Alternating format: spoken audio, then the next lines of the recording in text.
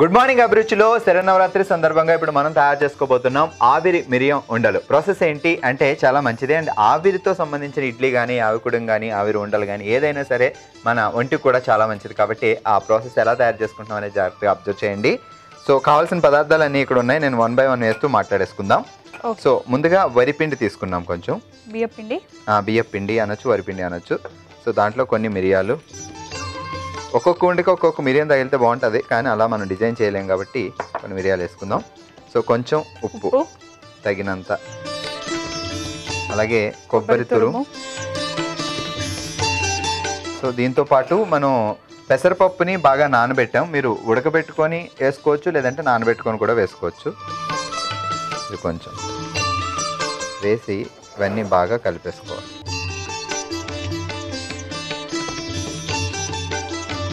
Water ఇవ్వండి కొంచెం. నేను పోస్తా. ఎంత అనేది? చాలా తక్కువ వాటర్ పోసుకుంటే సరిపోద్ది. సో ఉండ కొంచెం గట్టిగా ఉంటే చాలు. మరి ఈ లోపల ఈ స్టవ్ వెలిగించనా? ఇది ఇది వెలిగింది ఇందులో కూడా మనం నీళ్ళు పోసేసుకుందాం. కొంచెమే చాలా తక్కువ. లేదంటే ప్లేట్ పైకి వచ్చేది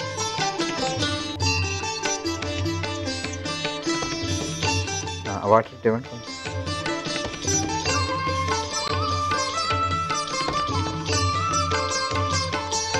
లోపల నేను ఇడ్లీ ఇడ్లీ ప్లేట్కి నెయ్యి రాస్తూ ఉంటాను.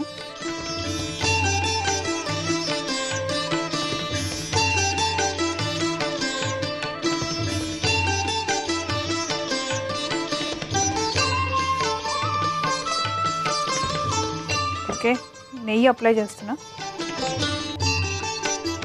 సో ఉండలు చేసేసుకుందాం.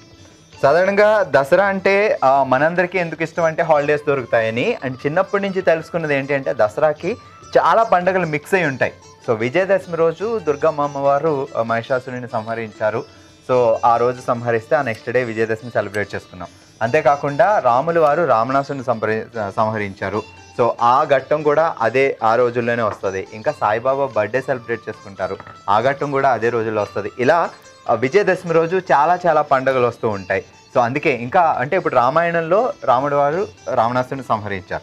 మహాభారతానికి సంబంధించిన కూడా విజయదశమికి ఒక స్పెషాలిటీ ఉంది. ఏంటి అంటే ఈ పాండవులందరూ అరణ్యవాసం వెళ్తారు కదా?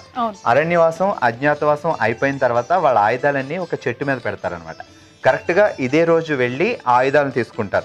సో ఆయుధాలు తీసుకోగానే పాండవులుగా మారిపోతారు. ఆ తర్వాత యుద్ధానికి వెళ్తారు. సో ఆ రోజే వెళ్ళి వాళ్ళ ఆయుధాలు తీసుకున్నారు. అజ్ఞాతవాసం అరణ్యవాసం ఆల్మోస్ట్ పదమూడు సంవత్సరాలు అవన్నీ కంప్లీట్ అయిన తర్వాత. సో అలా విజయదశమికి పురాణాల్లో చాలా స్పెషాలిటీ ఉంది. ఇంకా మెయిన్ చెప్పుకోదగింది ఏంటంటే విజయదశమి రోజు ఏదైనా వర్క్ స్టార్ట్ చేసాం అనుకోండి అది డెఫినెట్గా ఫుల్ఫిల్ అవుతుందని ఒక నమ్మకం ఉంది. అందుకే ఆ రోజు చాలా సినిమాలు కూడా ఓపెనింగ్ అవుతాయి. అండ్ చాలా మంది వాళ్ళ పనులు స్టార్ట్ చేసుకుంటారు ఇల్లు. కట్టుకోవడాలు అవి. సినిమాలు కూడా రిలీజెస్ అవుతాయి సో అందుకే విజయదశమిని చాలా నీట్గా సెలబ్రేట్ చేసుకుంటారు. నెయ్యి నెయ్యి ఇక్కడ సో మనం ఇప్పుడు ఈ- పిండిని ఇలా ఉండలా కలిపేసుకున్న తర్వాత కొంచెం నెయ్యి రాసుకొని దీన్ని చిన్న చిన్న ఉండలా తయారు చేసేసుకోవాలి. సో మరీ పెద్దగా చేయకండి ఎందుకంటే మనం ఆవిరి పడతాం కాబట్టి అది పర్ఫెక్ట్గా ఉడకాలి అంటే సో ఈ సైజ్ చాలు. ఒక్కొక్క ర్యాక్లో ఒక్కొక్క ఉండ? రెండు కూడా పెట్టుకోవచ్చు.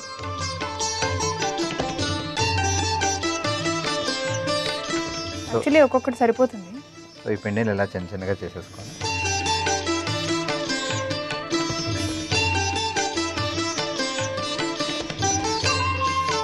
సో పెద్దది చిన్నది అలా చేద్దాం. ఓకే. సో నెయ్యి రాసుకోవడం వల్ల ఏంటి అంటే అంటుకోకుండా నీట్గా మనకి ఉండ పర్ఫెక్ట్ షేప్లో వస్తుంది. సో ఆవిరి తర్వాత అయిపోయినాయి చేసి ఓకే.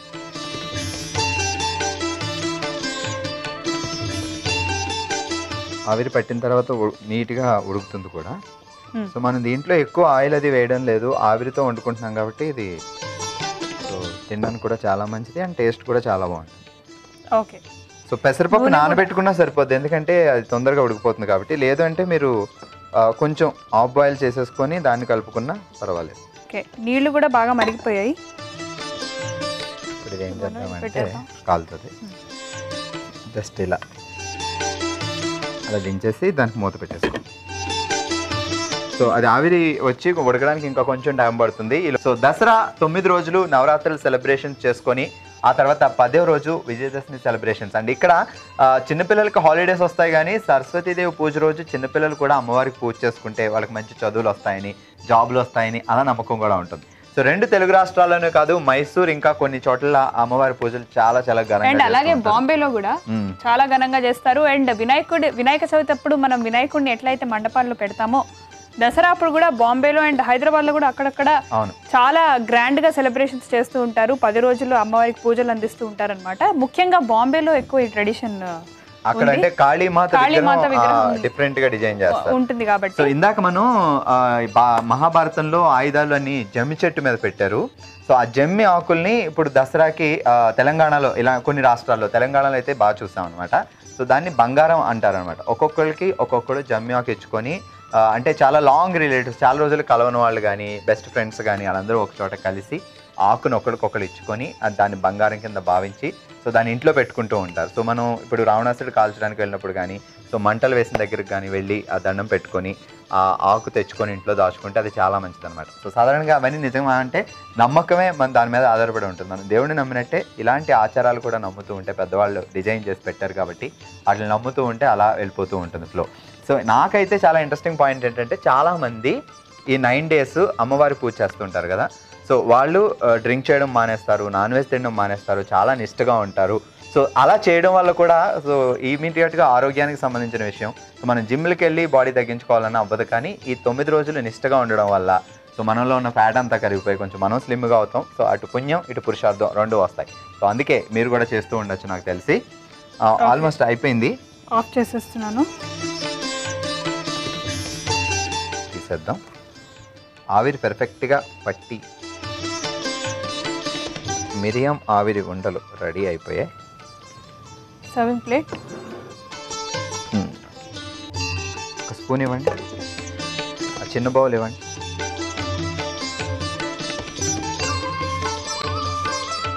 ముందు అమ్మవారికి నైవేద్యం పెట్టేసుకొని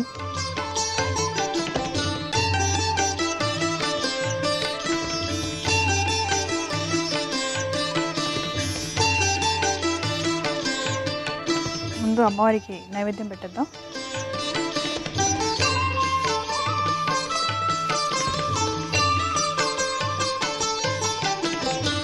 సో ఇప్పుడు మన నైవేద్యం.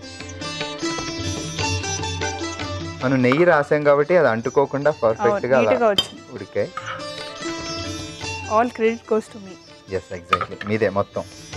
మొత్తం నేనే చేశాను. ఓకే చూసారు కదా? మరి ఆవిరి మిరియం ఉండలు ఎలా తయారు చేయాలో తయారు చేయడానికి కావాల్సిన పదార్థాలు ఆ ప్రాసెస్ ఏంటో మరొకసారి చూద్దాం. ఆవిరి మిరియం ఉండలు తయారు చేసుకోవడానికి కావలసిన పదార్థాలు బియ్యపిండి ఒక కప్పు పెసరపప్పు ఒక కప్పు మిరియాలు ఒక టేబుల్ స్పూన్ ఉప్పు రుచికి సరిపడా నెయ్యి రెండు టేబుల్ స్పూన్లు కొబ్బరి తురుము రెండు టేబుల్ స్పూన్లు. ఆవిరి మిరియం ఉండలు తయారు చేసుకునే విధానం. ముందుగా బౌల్లో బియ్యపిండి మిరియాలు ఉప్పు కొబ్బరి తురుము పెసరపప్పు వేసి కలుపుకోవాలి. సరిపడా నీళ్ళు పోసుకుని కొంచెం కొంచెంగా తీసుకుని ఉండల్లా చుట్టుకుని ఆవిరికి ఉడి ఉడికించుకుని సర్వ్ చేసుకుంటే ఆవిరి మిరియం ఉండలు రెడీ.